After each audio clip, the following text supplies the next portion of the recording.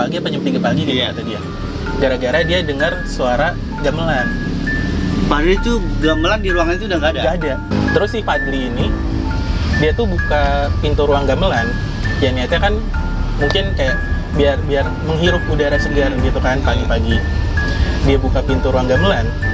Di depan di depan pintu itu itu ada kata litnuk bang. Apa itu? Oh, dibalik. Iya. Iya. Tahu dibalik.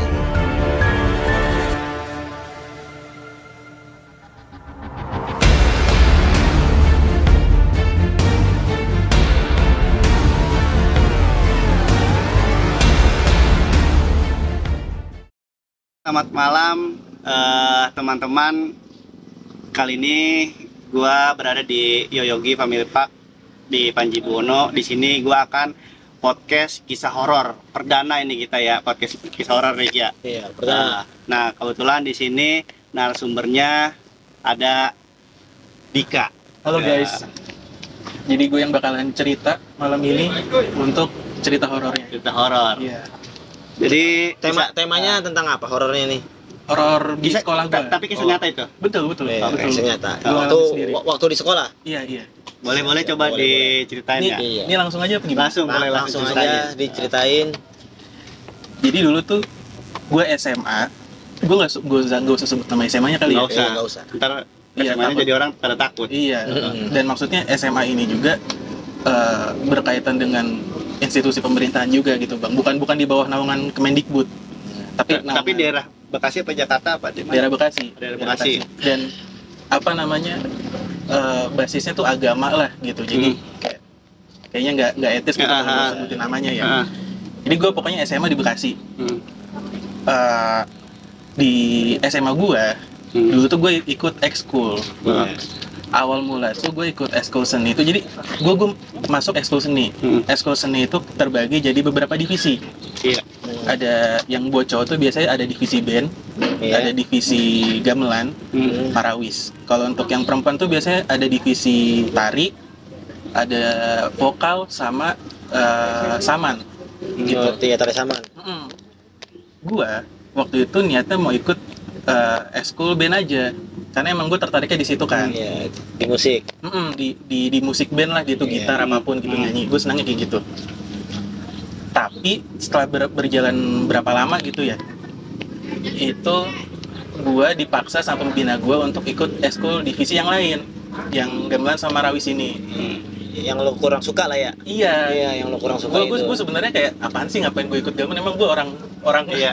orang tua gitu Iya. ya kan Orang dulu, yang main kan? gamelan kayak gitu Ah, iya. ngapain juga gitu Hmm, tapi gue dipaksa karena katanya kalau misalnya gue nggak ikut gue nggak boleh ikut band males dong gue Iya. yaudah gue gue yaudah terpaksa gue ikut Oh, gamelan Jadi untuk band itu lu eh, salah satunya harus masuk ke gamelan itu. iya karena karena gamelan sama marawis ini tuh kurang orang Oh iya. kurang iya. yang minat lah jadi Ah, kayak ah. karena band rame banget nih. Ah, sama pembina tuh lu masuk band, masuk yang lain juga nggak kalau Ah. nggak nggak gue izinin gitu Oh iya. jadi iya. semuanya gitu terpaksa kita ikut juga Jadi ikut juga ke Marawis itu. Marawis gamelan. Nah tapi setelah apa namanya gue mulai ikut eskul gamelan ini, gue senang banget sama gamelan ternyata. Karena menurut gue gamelan itu seni Indonesia banget ya, Iya. yang yang nggak ada yang nggak ada seni yang kayak gitu gitu. Beda-beda sendiri. Lu, lu ke negara-negara lain nggak ada kesenian Iya, kayak gini kan? iya, Musik yang iya. kayak gini itu nggak ada gitu. Cuman ada di Indonesia doang. Iya kayak kalau lu main keyboard, piano gitu kan nadanya do re mi gitu. Ah. Tapi kalau gamelan tuh da mi na ti gitu. Oh Jadi- gitu. Iya, iya. Oh, beda berarti dia. Beda, beda. Ah.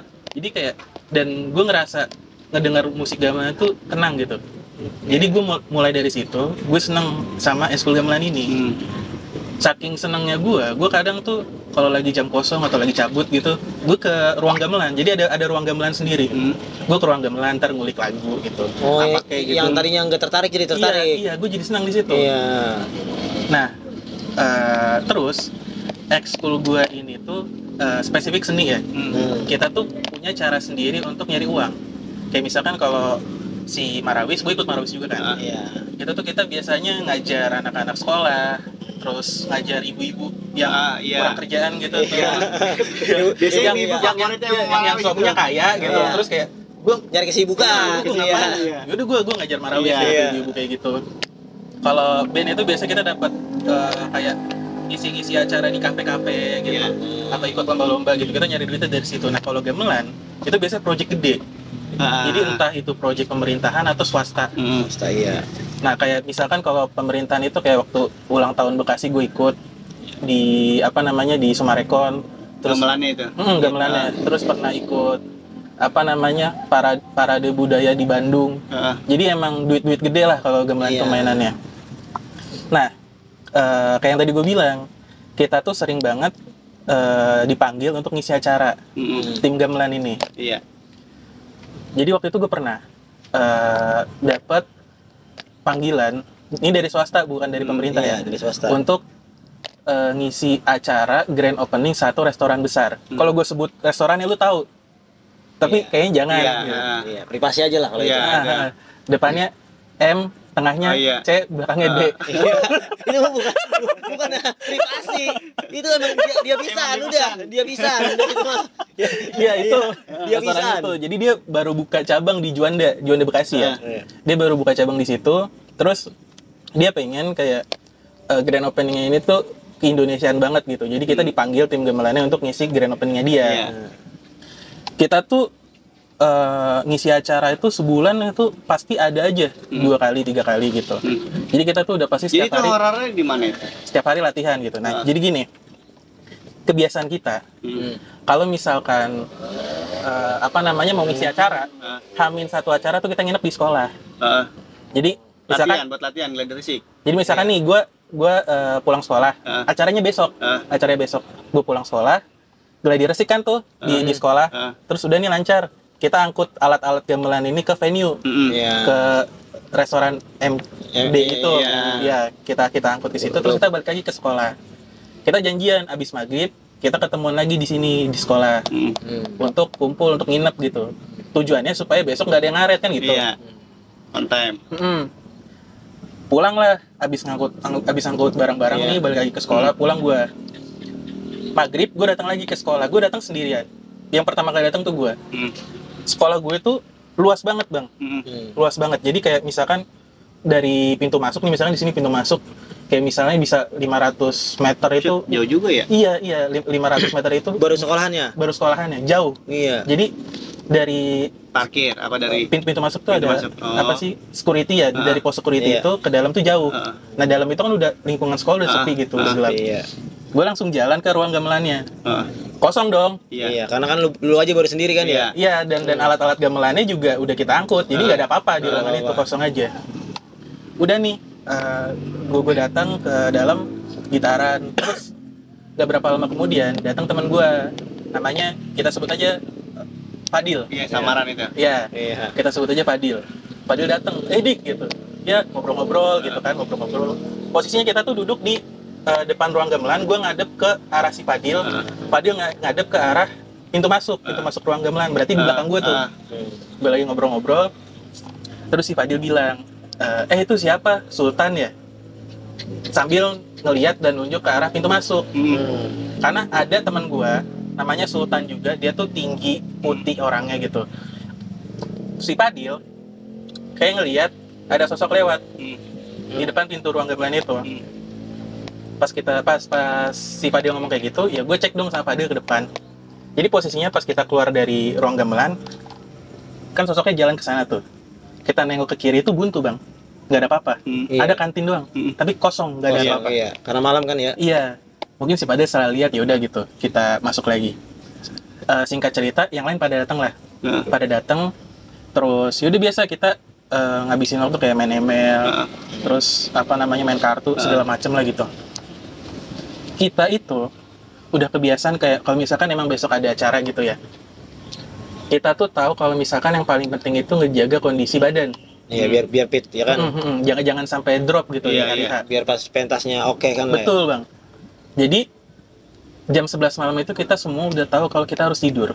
Hmm. tidurlah kita jam 11 malam gitu Di sekolah di sekolah itu bareng-bareng pada. Iya iya di sekolah Eh, dan di ruang gamelan yang yang mana itu kan gue bilang kan jauh dari Hmm, mana-mana gitu Iya. di pojok banget. Nah eh, ini ada cerita tapi dari temen gue yang yang yang ngerasain Hmm. namanya Herman lah Mm. kita panggil gitu. jadi kita tidur Jadi dia bisa ngerasain maksudnya dia indigo. enggak enggak jadi jadi kan kita tidur nih jam 11 kan Iya.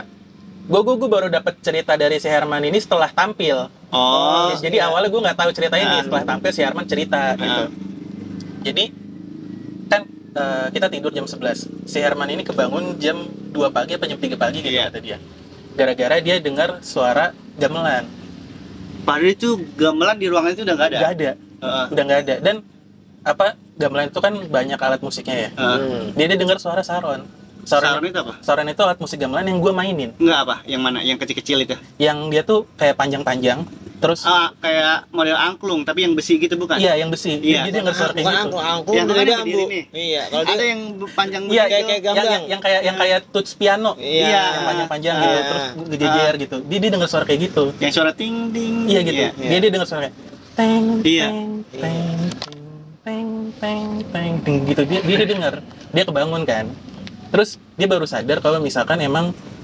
kayaknya nggak beres nih gitu ngerti nggak heeh. orang alat-alat gamelan udah dibawa nggak Iya. di situ gitu kan masa ada suara kayak gitu ya. Ah, yaudah dia dia maksain tidur lagi lah. Kita bangun itu jam 4 pagi.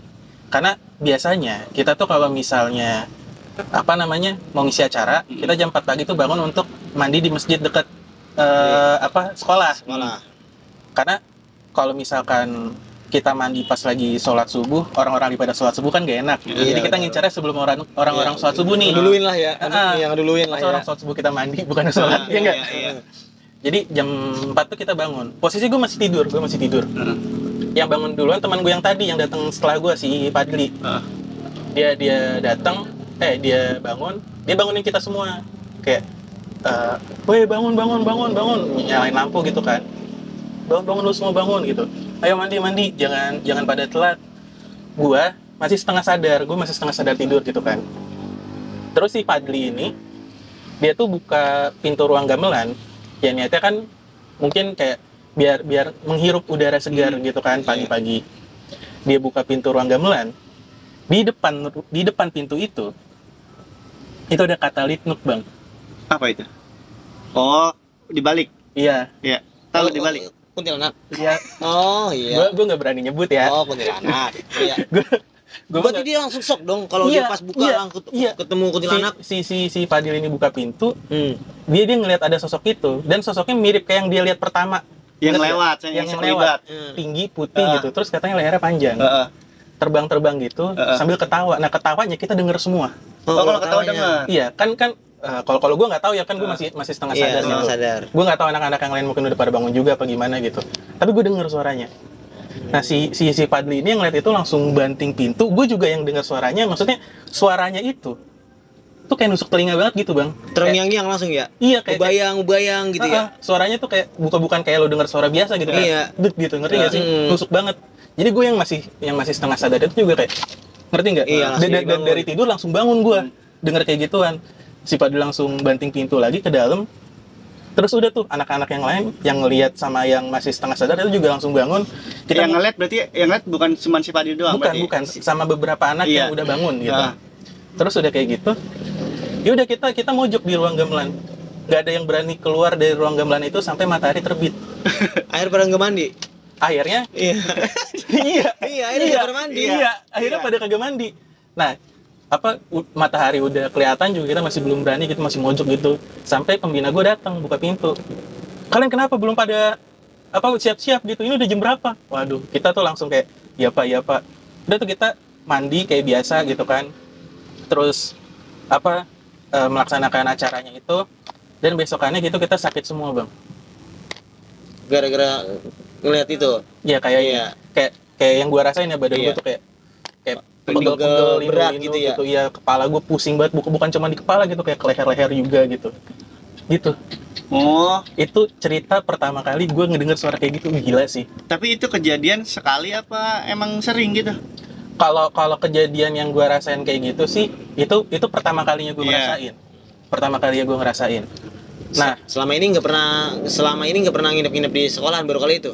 Sering Oh sering. Nginep- kan kita acara sebulan sebulan bisa Ah. tiga kali Oh. dua Nah, kali gitu cuma pas iya. kejadian itu pas hari- pas itu pas maksudnya yang kejadian horor itu eh, pas di itu aja apa sebelumnya ada juga cuman nggak sebelumnya begitu sebelumnya ekstrim? ada tapi bukan gue yang rasain jadi oh, eh, pembina seni gue ini kan juga guru seni Ah. gitu jadi kayak waktu itu eh, ada ini ini teman gue dari kelas lain gitu Ah. Kan ada orang yang bilang gamelan itu jangan dilangkahin hmm. Hmm, ya kan karena iya. karena ada isinya lah gitu Iya, mitosnya emang, emang serem dia. Mas, ya. Karena kan dia untuk anu Bang, kayak di wayang dia pasti ada. iya Iya, kayak wayang. Oh. biasanya kayak gitu buat ngejaga lah Iya. katanya buat ngejaga gamelannya nah eh, pada satu waktu lagi praktek nih lagi praktek seni di ruang gamelan itu anak kelas lain terus ada anak cewek yang ngelangkahin si gamelan ini karena mau pergi ke toilet Hmm. Dia dia dia, dia jalan ke toilet kan jalan ke toilet perempuan posisi toiletnya itu kalau lu masuk Hah? lurus itu langsung kaca langsung kaca Iya. Hmm. Bilik-bilik toiletnya tuh ada di samping-sampingnya bilik satu bilik dua gitu jadi Iya. lu masuk langsung kaca nah kata si cewek ini pas dia masuk itu dia ngelihat dia ngeliat dia tapi hancur di kacanya jadi kayak mukanya hancur gitu. Oh, kayak film-film horor gitu berarti? Iya kayak gitu. Jadi jadi dia masuk toilet ngeliat yang di kaca itu terus kayak ngeliat Mukanya muka dia? dia tapi hancur hancur, iya. terus langsung Gara-gara Besok- gara-gara dia ng- ngangkain gamelan itu. iya kata pembina gue besokannya juga nggak masuk karena sakit. Ada kali seminggu. Keluar dari eskul habis itu? Enggak sih. Enggak juga kita kita kita, kita walaupun walaupun ada kejadian kayak gitu kita tahan. Maksudnya ya karena kita emang udah senang sama gamelannya gitu loh. Oh. Iya. jadi kayak ya walaupun kayak ada kayak gitu-gituan sih. Tapi lu kagak nanya-nanya gitu. Eh, misalnya kayak pembina pak saya kita pada digua- digangguin nih begini-gini. Eh, terus sekali si pembina itu cerita oh nggak apa-apa itu mah emang gini-gini. Kalau kalau kata pembina gua kenapa waktu itu kita ditampakin gitu?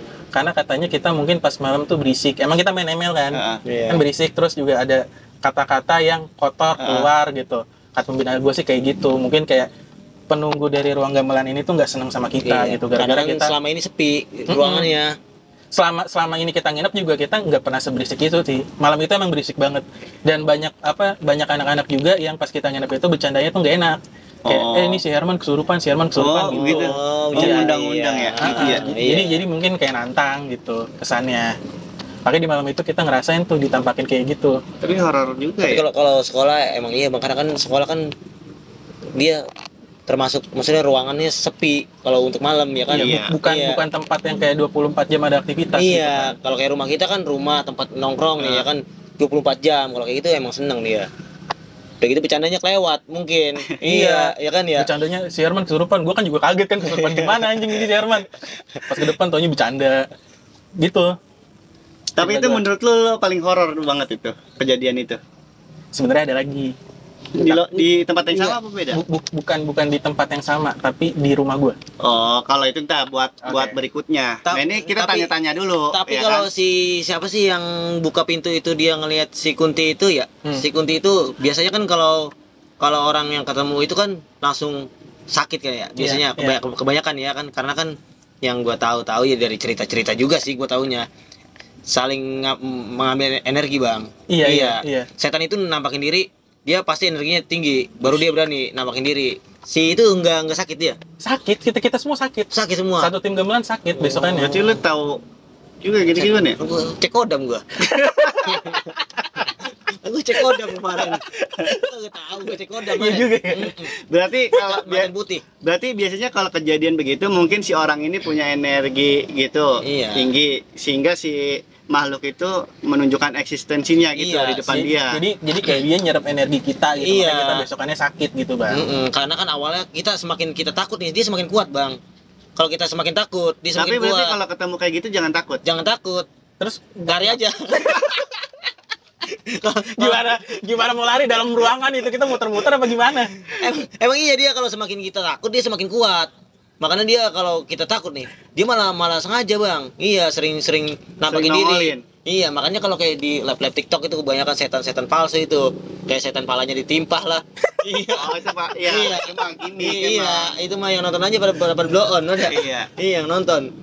Makanya kalau kalau kayak kayak di sekolah emang begitu emang gue juga dulu ada di sekolah gue juga sama gitu. Mana kesurupan masal lagi kalau gue dulu malam malam lagi waktu kemah dulu kesurupan masal jadi pas lagi kemah itu hampir ada murid total 200-an lebih. Itu yang enggak enggak kena kesurupan mungkin 50 orang 150 orangnya. Itu kesurupan semua Lu, total. lu kena bang? kalau gua enggak kan gua punya cekoda kemarin. Tapi lu beresinnya gimana itu kalau gitu? apa sampai ustadz kampung datang bang? U- ba- Ustadz Ustadz berarti Ustadznya lebih dari satu. banyak.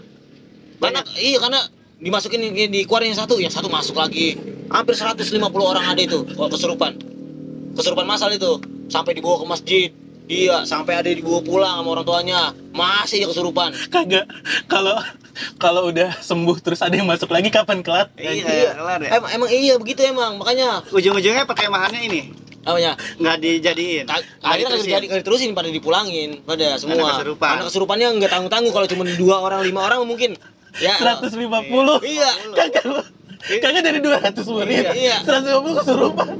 Kesurupan itu kalau butuh berapa ustadz Iya. anjing? Kalau misalnya itu kan muridnya 200-an, Iya. yang kesurupan 150. Iya. Itu yang 50 enggak. Itu kalau setannya ada komandonya kita serang. iya kemungkinan Mati itu yang 50. kemungkinan begitu bang karena karena kan sekolahan gue juga salah satunya belakangnya sawah bang Iya. kebun kebun masih kan ya kebun kebun banyak Anjing. jadi sam- sampai ustad ustad kampung aja tuh sampai datang Tawuran. Iya. Tapi macan semua itu. Nggak macan juga. Mungkin ada kadal kali. Iya setan kadal. Nah itu kagak mah apa aja. kan kalau kesurupan ing maung, macan. Nah, sampai sempet di kolam gue juga waktu dulu. Si Logoy. Iya kan dia punya pacar kan dulu ya. Baru nyampe dari motor motor belum standar kesurupan ya. Gue kan karena kasihan juga kan karena Si logonya. ceweknya Oh. iya. Gue bantuin lo gue emang kagak bantuin. Nih gue bantuin bang. Ya gue dicakarin bang udah gue bantuin gendong gitu gue gendong ke tempat Tapi buat gendongnya disembuhin. bener lo. bener lah kan bertiga tuh ya gue paling Gendongnya depan nggak bener ya. Gua dicakarin dipegang, Jadi lo dicakar gitu. aduh gua Iya enggak heran gue sih. iya, kalau gitu nggak heran gua. gue sialan lu gue tolongin gue dicakarin aduh iya nyesel juga gue nolongin Berarti eh, apa? kalau sekolah itu udah pasti bang banyak banyak hantunya udah pasti Iya kalau dari cerita dia kan di Iya. sekolah itu udah pasti iya kalau kalau sekolah memang ada. Tapi kalau emang gamelan itu kalau gamelan itu kan emang kayak seni musik anu bang tradisional kayak semacam Dan emang kayak udah dari zaman Wali Songo. Iya. gitu, Bang. Biasa kayak gitu. Ener- energi magicnya, magisnya ini ya ada Kuat, gede kuat, kuat, iya, ya. kuat. Kalau untuk gamelan gitu kalau ya. untuk gamelan makanya kayak di wayang-wayang juga kan kalau wayang-wayang itu pasti ada gamelan itu bang Dan biasanya kalau di acara wayang kan pasti ada yang kayak buat ngejagainnya gitu. Iya. Orang satu gitu. Karena takut kenapa-napa biasanya Iya. gitu, Bang. satu juga kalau di wayang juga kita nonton nih kalau belum selesai kita belum boleh pulang bang iya Iya, emang gitu, Bang. iya kita diruat Oh. nggak nggak boleh pulang kita Iya. makanya Kita pulang kesurupan ya. 150 orang. cek kodam Berarti ngeri juga ya 150. Ini Bekasi Bekasi kota. Di kota. Ini Bekasi kabupaten. Kabupaten, Masih Kabupaten. daerah sini dong. Kalau kalau gua kan dari sini gua sekolahnya masih Ba- banyak itu, berarti Bang. memang masih sawah. iya kan gua bilang belakangnya sawah Heeh. sampingnya kebun-kebun tuh nah jadi berhubung depannya depan sekolahan itu sawah bang depan sekolahan gua sawah karena musim kering akhirnya ngadain lah itu kemah Hmm. bareng-bareng tuh dari kelas 1 eh kelas 2 kelas 3 doang dah kelas 2 kelas 3 itu itu kesurupan rame banget bang itu bang asli bang sampai kawan gua ada kesempatan juga dia Lalu pada waktu itu ngapain? gua Nah gua kagak bisa nyembuhin Nah gua cuma nonton doang Tapi kawan gua Kesempatannya gendong-gendong cewek-cewek cewek cakep dari 150 itu cowok cewek kesurupan. Cewek- Cowok cewek Tapi mayoritas kebanyakan cewek Iya, karena kan kalau sebenarnya biasanya Iya lebih banyak cewek, lebih gampang. lebih, lebih gampang Tapi cowok ada. Ada kan kalau di daerah bawah kan Lah kawan gua aja kalau kencing aja dompetnya makanya ditaruh di luar Ada Iya. ada ada wapaknya Iya Kata gua lu kalau kencing taruh di luar dompet balik-balik lu hilang dompet lu Iya ada wapaknya makanya bocah-bocah sana gitu kodam kodam Iya Oh. iya kodam gitu kalau di daerah tempat gua Berarti kalau dari sekolah lo endingnya gitu. Apa akhirnya perkemahan Tapi itu sembuh. jadi. Pada pada sembuh nggak? sembuh tapi nyama karena kan Lama, lama tuh berarti. lam- lama banget itu asli dah karena mungkin rame banget ya bener-bener rame bang itu bang Gua- seumur umur gua baru Satu kali itu megang berapa bocah? Wah udah kecapean kali Ustadz itu dah Nyerah udah Ustadz Ustadz kampung pada datang bang Asli dah Iya. Iya Asli dah pada datang Ustadz kampung Gua aja kata gua Ini baru nih Kan gue bilang tawuran. Iya ini baru nih Dua dunia nih Kata gua Iya Kalau uji nyali lagi kan Dua dunia udah Tapi zaman itu belum ada handphone Ah, canggih. belum ada. Kalau ada canggih mungkin paling rekam ya. paling keren dulu itu gua sekolah itu buat apa Asia bang Hidayah Heeh. iya Jadi nggak ada. ya kamera aja kagak ada kita iya cuman paketan nelpon Kalau zaman lo udah modern. Udah. kan gue aja sekarang baru Oh ya karena tadi udah bilang main ML tadi ya. Iya. Iya, kalau dia udah main Iya, ML. dia emang, pakai HP sih ya masa Iya. udah Iya. udah Kalau gue di zaman zaman gue PSI ya. cuman ya maksudnya ya di kejadian kayak gitu masa iya gue sempat megang HP kan Iya. nggak sih gerak aja nggak bisa gue udah mojok aja nih kayak "Ih, gimana nih keluar nggak nih? Gitu. Kayak gitu. Kita keluar takut ya. Iya. keluar Lemas gak sih pas nginep kayak gitu? lemas lemas. Main, bisa main, gerak gitu main ya? gamelan aja pas di venue juga. Blank gue Iya. iya blank. Tapi untungnya ya nggak nggak nggak parah banget gitu blanknya. Jadi kita masih ada project-project yang lain gitu buat dijalanin. Gitu. Ya tapi jadi pelajaran gitu akhirnya kayak ya udahlah apa next time kalau misalnya ada acara kayak gitu lagi kita nginep-nginep jangan jangan Ja- jangan petakilan ya, ya. jangan takilan jangan Oh, Iya. jadi apa intinya di kejadian lo semua kejadian kali ya untuk Iya. ucapan ya adab adab Iya. Adabnya saling, dijaga. saling menghargai. ketika Iya, iya. kita Walaupun nggak ngeliat. tempat-tempat baru atau tempat yang ini ya adabnya juga dijaga tutur kata Iya. Kita walaupun di mana juga kita kencing kalau kita buang air kecil aja kita baca-baca dulu ya kan di mana aja. Terus kalau salah kencingin kita. Iya kalau setan lagi ongko emang punya mata kita kencingin diem aja.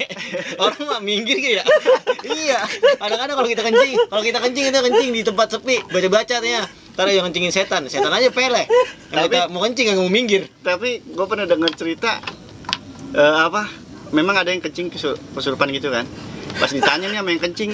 Makanya kan kadang kalau lagi kencing itu diludahin tau lo? Iya. ya kan abis kencing diludahin. Iya, itu mah lebih marah lagi. itu lebih marah lagi. Iya. udah tahu kencing udah marah diludahin lagi. Double.